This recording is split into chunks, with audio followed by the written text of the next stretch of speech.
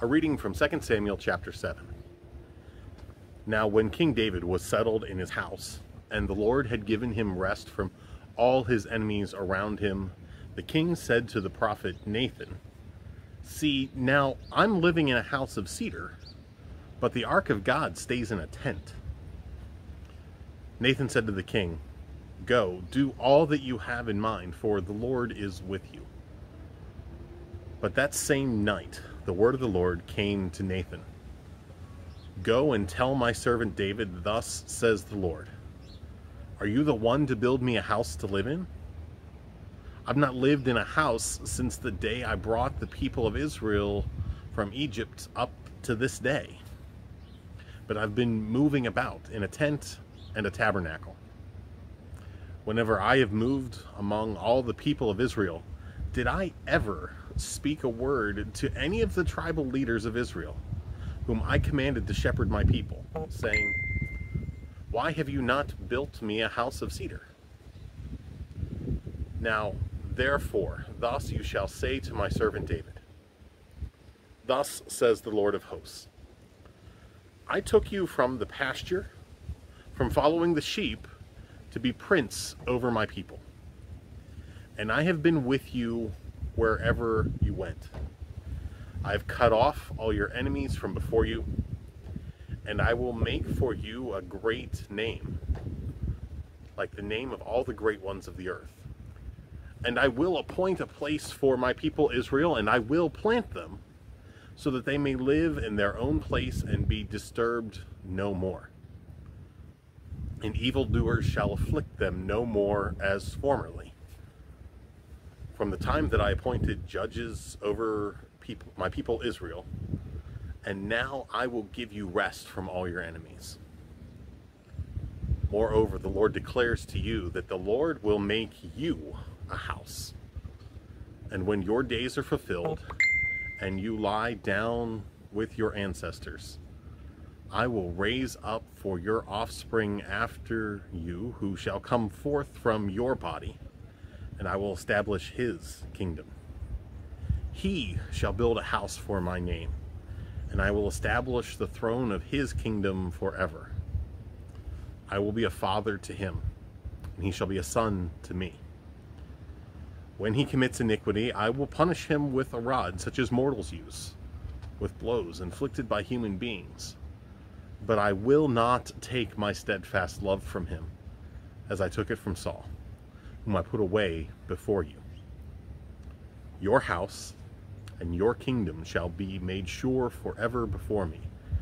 Your throne will be established forever. In accordance with all these words and with all this vision, Nathan spoke to David.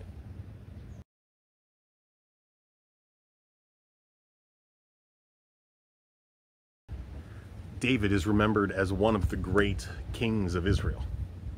Now, to be clear, he's remembered as a great king, but he's not perfect. Not even close. In fact, if you know one story about David, it's likely you know about the time that he used a slingshot to take down a man called Goliath. But if you know another story about David, it's probably the one about his time with Bathsheba and his murder of Bathsheba's husband, Uriah. But those are stories that haven't happened yet for David. They're stories for another sermon and for another day. But by the time that we catch up with this part of David's story, he's been placed by God on the throne in Israel. And he's led numerous successful military campaigns that have solidified Israel's hold on the promised land. David felt secure enough to be in the place where they were that he started to set down roots he accepted a tribute gift from Hiram, the king of Tyre, of cedar logs, of carpenters and of stonemasons who took all that and built for him a house, a permanent place to live. For people that have been wandering for generations, getting to settle in one place would have been incredibly exciting. But beyond that, cedar plays an important symbolic role in Scripture the cedars of Lebanon are understood to have healing properties. They're able to do things like drive away illness like leprosy. They're symbols and signs of the strength of the nation. And they also point to the flourishing of people of faith. This isn't just lumber like you'd get from Home Depot or Lowe's. This is a palace and a national monument sort of all rolled into one. And after David has been living in this house of cedar for a while, he gets the idea that God should probably have a nice house or temple as well. But that doesn't seem to match with God's plan. God isn't interested in whatever David is cooking up, uh, some sort of quid pro quo relationship. Instead, God goes on to detail through Nathan all the ways that God has been faithful in the past and will be faithful in the future. God says, I've been with you wherever you went and cut off your enemies before you. I'll make a great name for you, and I'll give you rest from all of your enemies. You can hear in God's response that promise. This isn't a, a, quid pro quo where David has to do something to earn it. It just relies on the faithfulness of God. So much of our world is built on this quid pro quo system. If you scratch my back, I'll scratch yours. If you do this for me, I'll take care of these other things for you. And it seems like, at least in this passage, David has the same idea about his relationship with God. That if he wants good things to keep on coming for him or for his nation, that it's probably about time he gets with the business of constructing a temple for God. Something strong and powerful and imposing. Something that shows how serious his faith is. Something that people might even talk about for generation after generation. But through the prophet Nathan, God says to David that God has other ideas.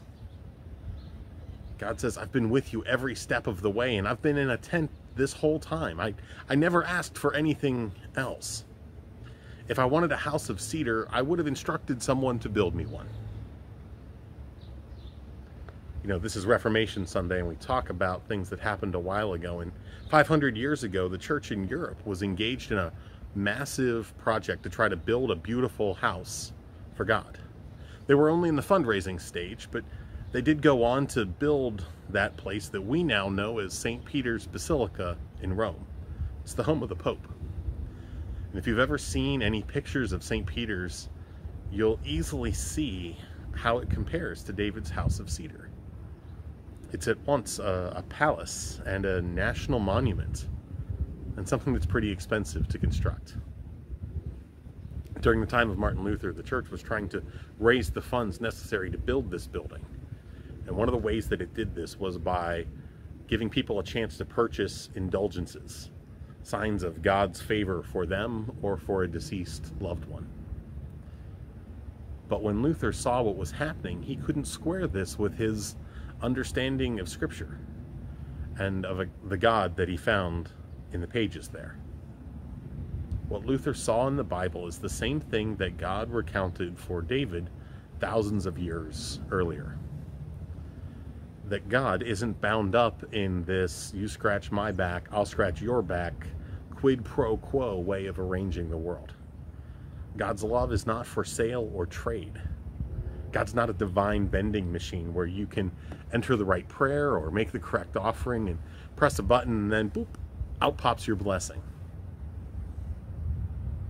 As I look over my life, I can't help but see how many quid pro quo relationships are in it. Some of them I'm quite happy with and grateful for.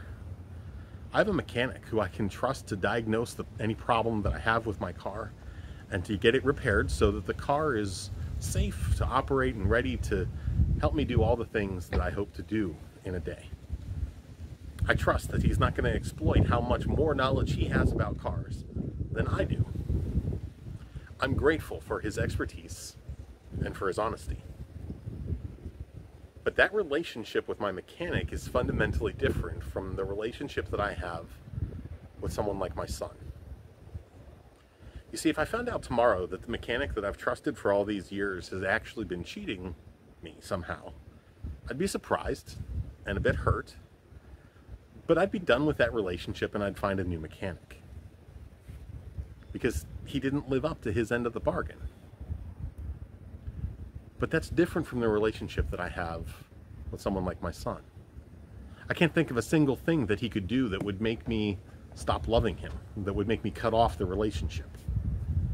Sure, there's days that he makes me angry, and we'll have our good days and our bad days. But that relationship between us is built on love rather than a quid pro quo. And because it is, it can endure. The love that God has for us is a love that can endure all things. It's not built on saying the right prayers or offering the right sacrifices or following the right commandments.